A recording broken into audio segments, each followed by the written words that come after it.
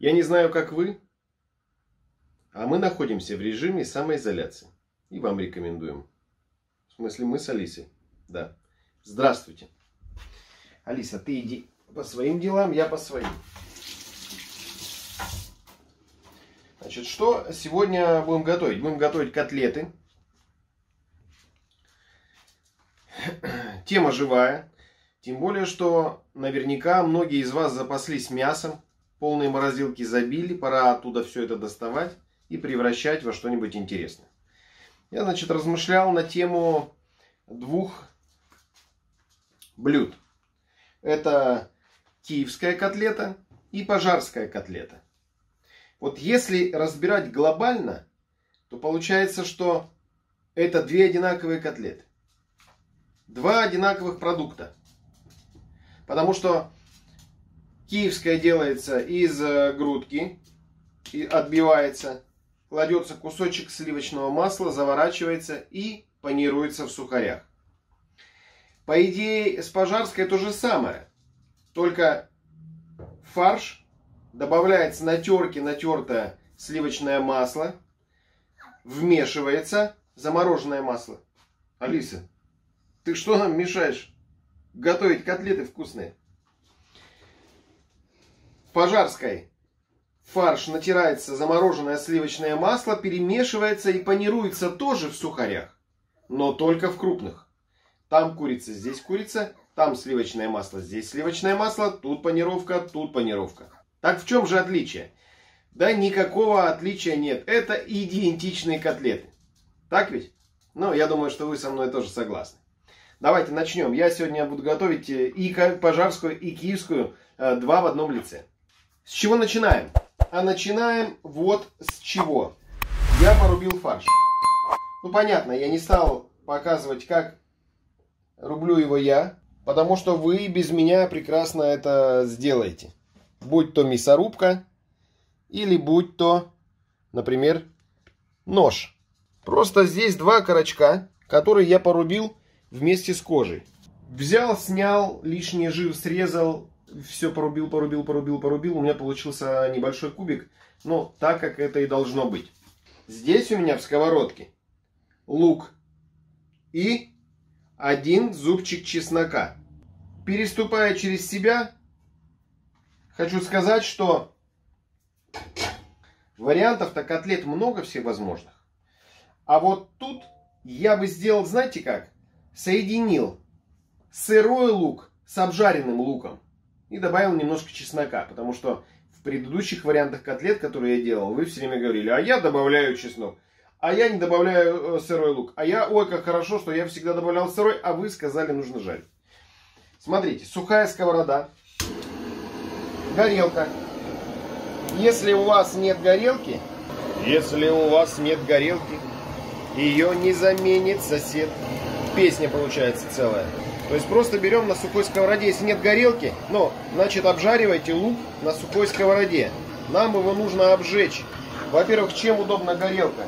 так сказать, прижарочки, они дадут фарш свой аромат, аромат дымка.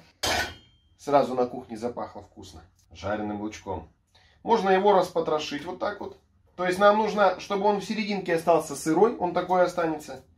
А сверху мы его обожжем, не будет той вот приятного такого, я хотел сказать, лукового запаха. Да, ну так и сказал в итоге. Еще разочек пройдусь по луку. Видите, он должен подрумяниться немножко. Чеснок у меня стал уже почти черный. Пока что нам горелка не понадобится больше. Все это на доску. Ну и, соответственно, все превратить в крошку. А затем смешать эту крошку с фаршем. Заодно повысите свой уровень и умение шинковать быстро-быстро-быстро овощи. Мелко-мелко рублю лук. Ну, вместе с чесноком, конечно же. Если вы не плачете, значит все делаете неправильно. Смешиваем получившийся лук с фаршем. И уже проходимся вместе с фаршем пару-тройку раз. Во-первых, мы продолжаем рубить фарш и продолжаем рубить лук. Во-вторых, женим их плотненько. О, проходят слезы.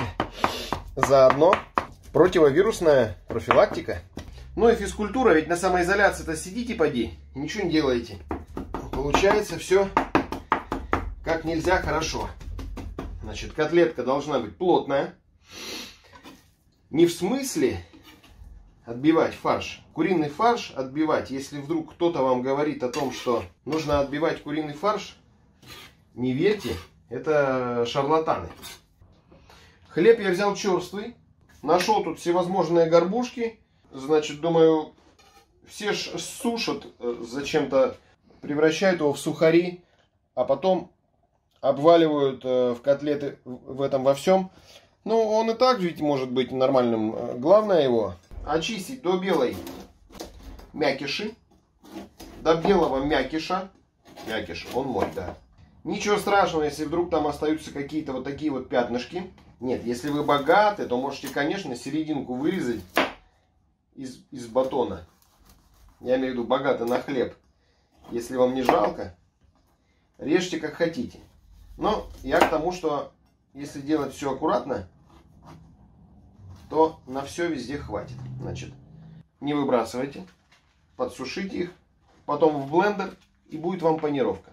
Ну, значит, вот это сразу же нарезайте на кубики. Такие, вернее, в начале пластиночки. Дальше будем резать кубики. Значит, при... делайте кубики такие, чтобы они были не очень толстые. А то будет потом у вас во рту такие куски хлеба попадаться. Кубики должны быть изящные. Теперь желательно, чтобы получить красивый кубик, нам надо выровнять эти кусочки хлеба. Ну, примерно выровнять, да? Вы меня понимаете. Условно. И вот при выравнивании вот этих кусочков у нас остается обрезь. Вот эту обрезь складываем в блендер. Сразу же, во время того, как вот сюда закидываем вот эти корочки, которые у нас должны пользу принести нам, подливаем сюда сливки. Сливки. Корочки уже пусть замачиваются в сливках. Да, корочки пусть замачиваются в сливках. Проделываем дальше со всеми остальными кусочками то же самое.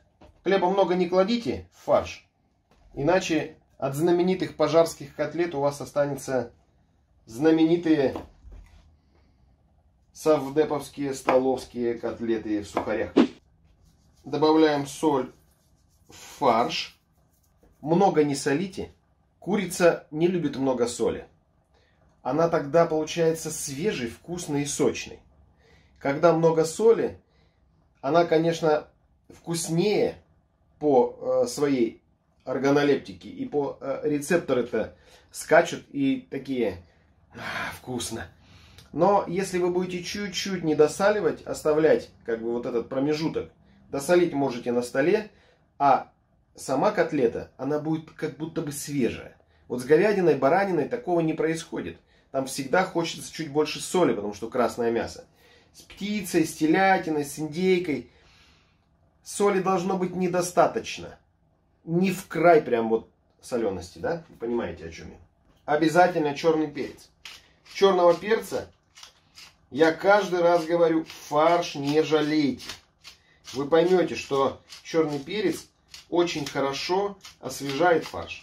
И, например, если у вас курица далеко не фермерская, ну вот так бывает, курица попалась обычная из магазина, прозрачная, такого водяного цвета, то тогда черный фарш, э, черный фарш, говорю, черный перец отобьет вкус вот этой мокрой птицы. Понимаете? Мускатный орешек.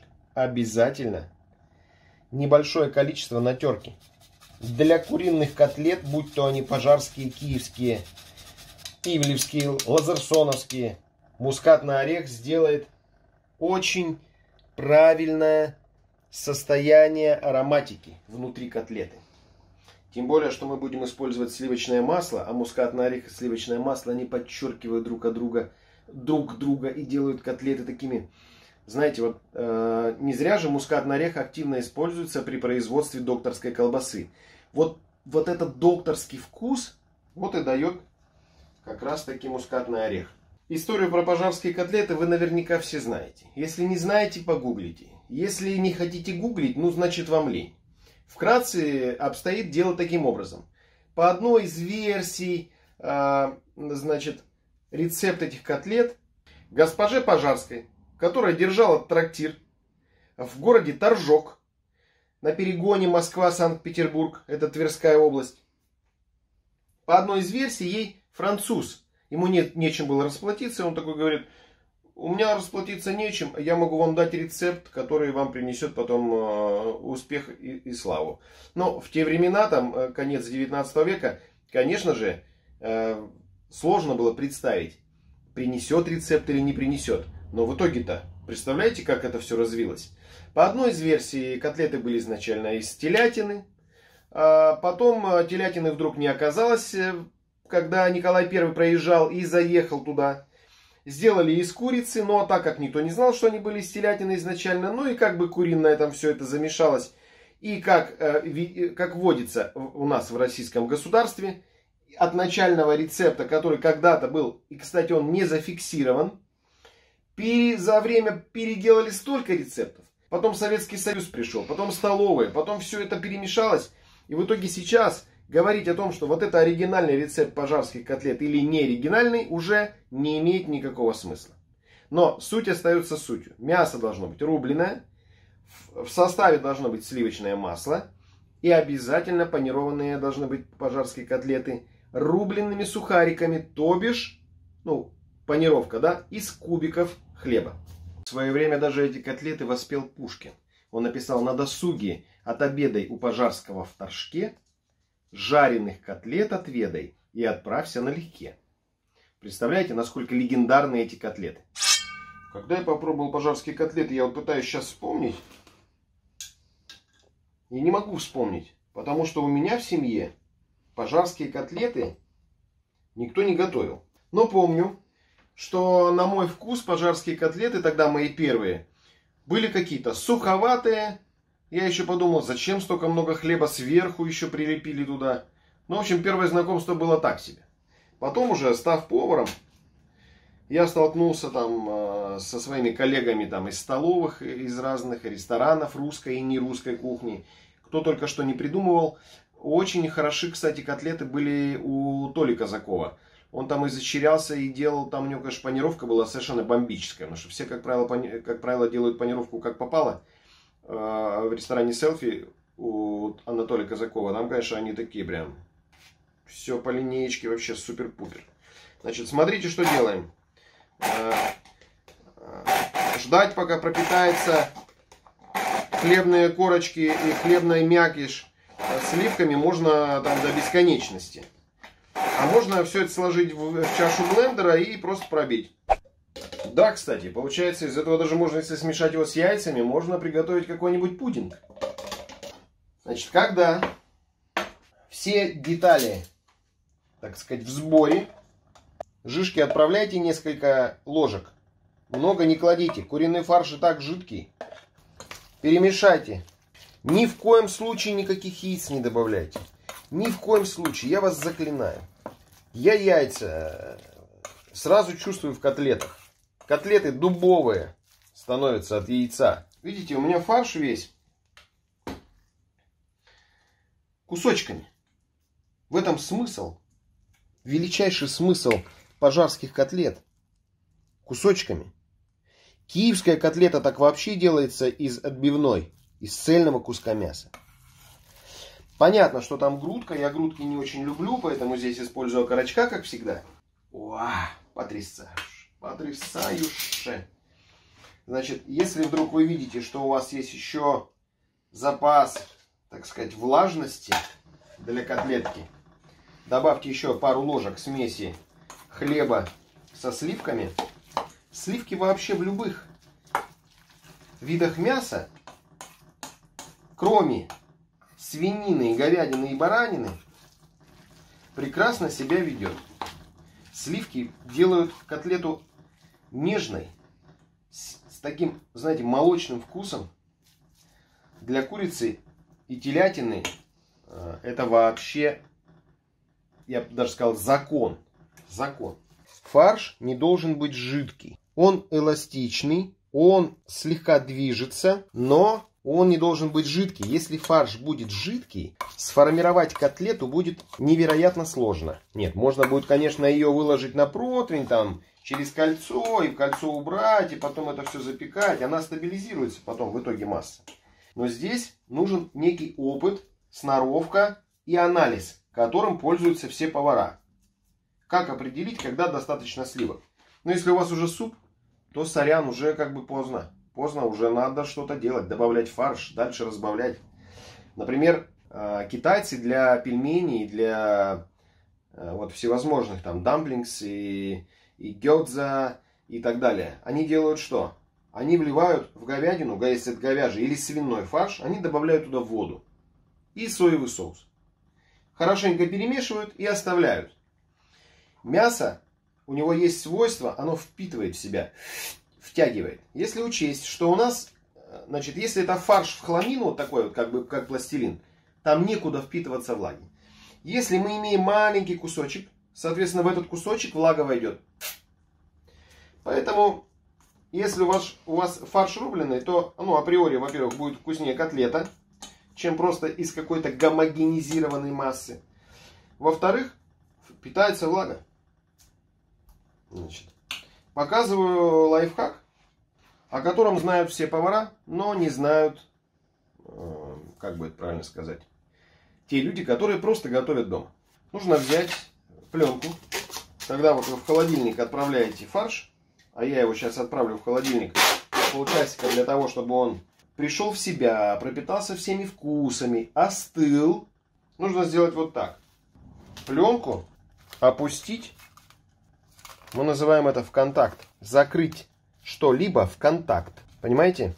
Тогда у вас не будет происходить окисление. У вас в холодильнике фарш не будет становиться серым сверху. Потому что если вы так затянете, у вас прослойка воздуха между фаршем и пленкой. Верхняя часть станет серой. Вот чтобы этого не происходило, в ресторанах делают укрытие, так сказать, в контакт.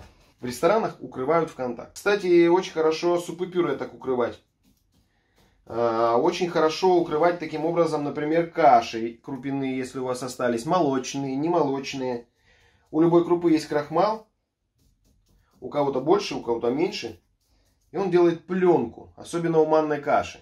И потом эту пленку заветренную бывает очень тяжело разбить при повторном прогревании. Чтобы этого не происходило, гурьевскую кашу, манную кашу там какую-то вы там делаете, вот э, э закрывайте в контакт. Будет вам польза.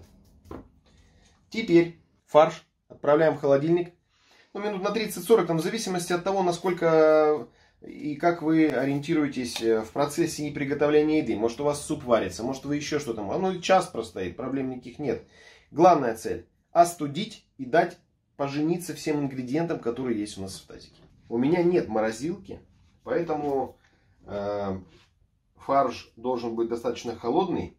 Масло ну, как бы оно не теплое, не холодное. Значит, берем, отрезаем кусочек какой-то. Ну, такой вот, этакий. Э, делим его на две части. Не знаю, граммов по 30, наверное, здесь. Больше не надо. Даже в киевскую котлету, в большую котлету, масло же смешивается с зеленью. И идет на одну котлету 25 граммов масла плюс 5 граммов зелени. Поэтому тридцаточка для, большой, для моей большой котлеты и пожарской, и киевской одновременно будет достаточно. Что делаем далее? Далее самый интересный момент. Моменто море.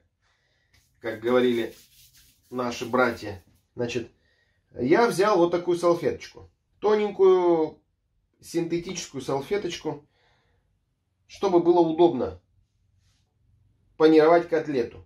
Значит, смотрите, что делаем. Почему салфетку? Потому что ткань, она так не прорезает, нож так не прорезает ткань, как, э, например, пленка, если бы была. Можно, конечно, попробовать и пленку. Значит, теперь э, нарезаем мелкий кубик, да, прямо на салфеточке. Для того, чтобы оставить кусочки э, хлеба в ровном порядке. В ровном. Значит, уши вот здесь вот я сделал условно для того, чтобы торцы котлет обвалять. Для чего наши коллеги-повара сушат сухарики и почему изначально, как утверждают историки, панируется все это в сухарях. Для того, чтобы мягкий хлеб, если мы берем, очень тяжело панировать. Он как губка, он туда-сюда болтается, и вам тяжело. Поэтому я беру, например, черствый всегда хлебушек. Если у вас черствого нету, а до завтра ждать не хотите, ну тогда да, можете нарезать его и отправить его в духовку подсушиться. Но тогда у вас отваливается вот такой вот план, так скажем, по завоеванию пожарских котлет во всем мире. Понимаю. Кто-то пишет уже, типа, чуть геморрой, так чуть геморроится. Тут же ведь дело, знаете, когда геморроем попахивает? Когда охота сделать красиво и прикольно. Ну а так как никто этим не заморачивается, поэтому все варят гречку и едят ее с маслом. И ни о каких пожарских котлетах и киевских не помышляют. Хотите, чтобы было прикольно и вкусно, надо чуть-чуть заморочиться. Вы это знаете. Я вам уже который раз говорю. Хотя ряд рецептов у меня совершенно без заморочек. Все. Теперь аккуратно режем поперек. И у нас получается очень маленький, но, как говорится, сильный и мужественный панировочный лист. Вот так вот режем. Видите, пленка давно бы уже была вместе с кубиками в кубик.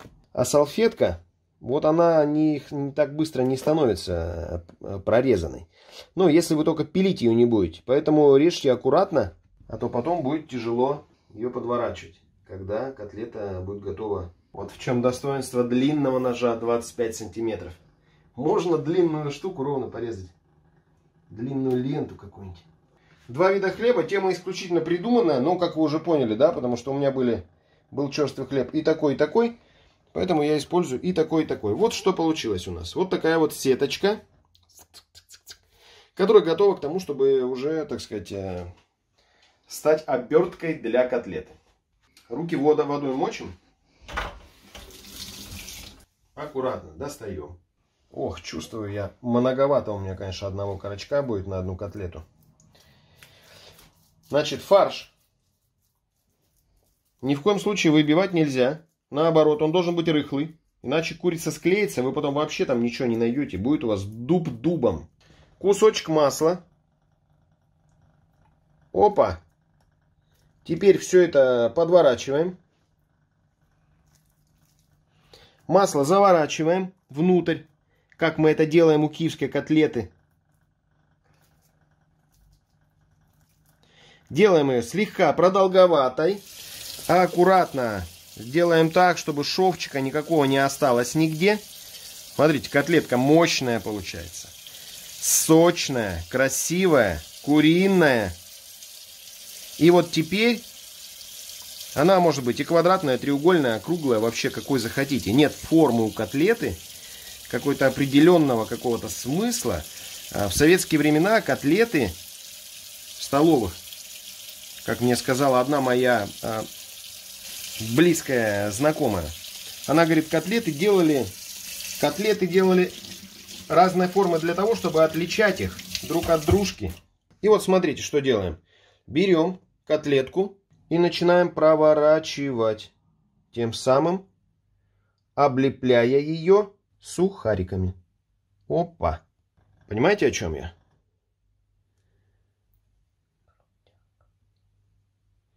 Так, чуть-чуть не хватает мне хлеба. Значит, если вдруг вы видите, что что-то не хватает, как вот у меня, потому что сразу рассчитать, конечно же, тяжело. Значит, будем делать вот так. Берем ножичек, переносим сюда сухарики. Крайняя линия будет, конечно, не такая ровная, как первая. Но мы ее спрячем потом, правильно? Положим той частью, где у нас, соответственно, сухарики э, ровным слоем лежат. Так. Опа. Впереди копы. И по бокам, соответственно, вот эти уши нужны были для того, чтобы закрепить сухарики с торцов. Все, и как только у нас котлетка оказалась в сухарях, мы ее отправляем на сковородку. Да, и не забываем, что у нас еще есть вот эта часть торцевая. О.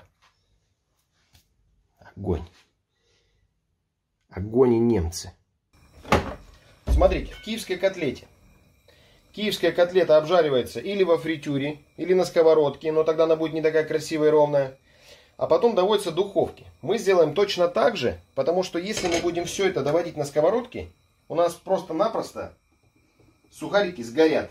И ведь что самое интересное, в киевской котлете, когда она уже готова, при подаче под нее подкладывают гренку, некую, хлеб. Да? Для чего это делается? Для того, чтобы когда вы разрезали и масло потекло, оно впиталось в гренку, ни в коем случае не расплылось по тарелке, потом его же не соберешь никак.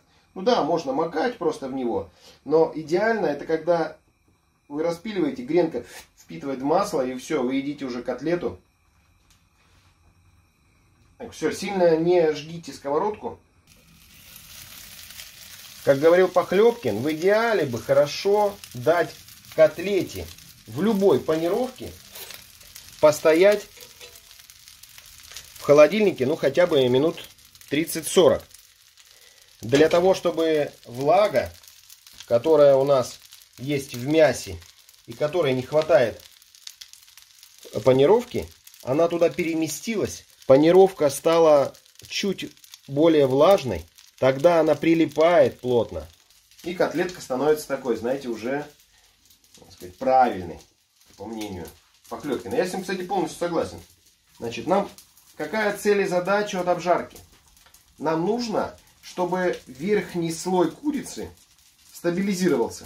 Чтобы греночка прилипла, чтобы подрумянилась.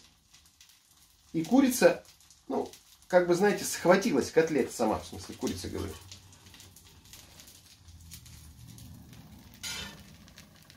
О,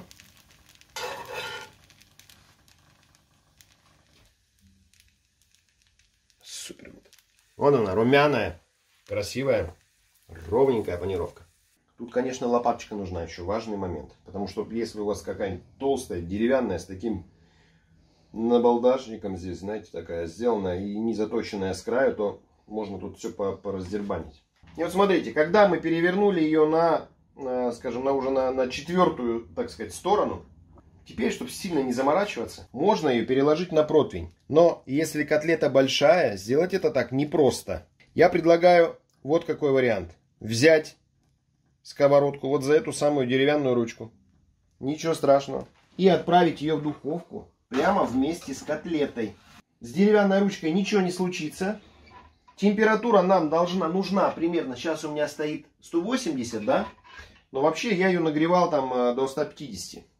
Она долго у меня, видимо, стоит, пока я бла-бла-бла с вами. Нагрелась. Градусов 150-160. Минут 15 будет достаточно. Поглядывайте одним глазом, чтобы масло внутри не начало закипать. Тогда оно порвет котлету и начнет вытекать вовне. Здесь нужно поймать вот эту вот, вот эту грань, э, которую очень тяжело объяснить на пальцах, даже имея язык и, и, и губы. Понимаете? Так котлетка подготовилась. Пока та у меня стояла в духовке, я сделал еще одну. Ну и, соответственно, как вы понимаете, меняю.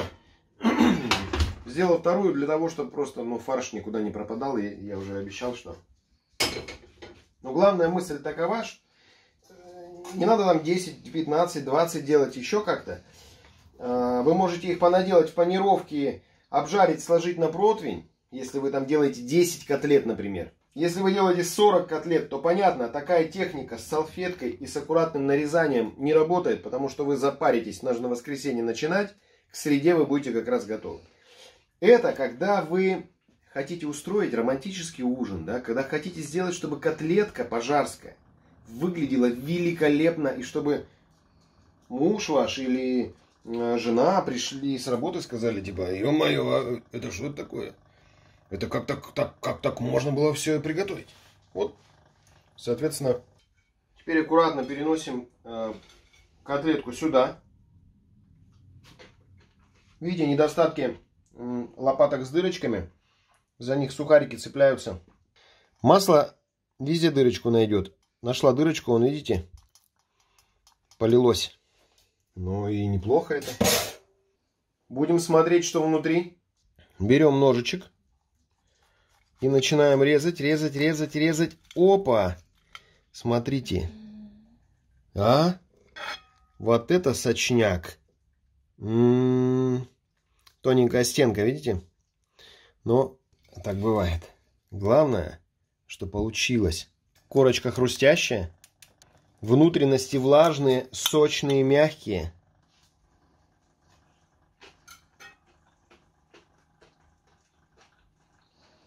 Все хрустит.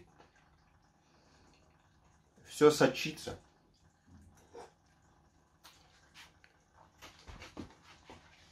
Зожники сейчас все точат ножи такие.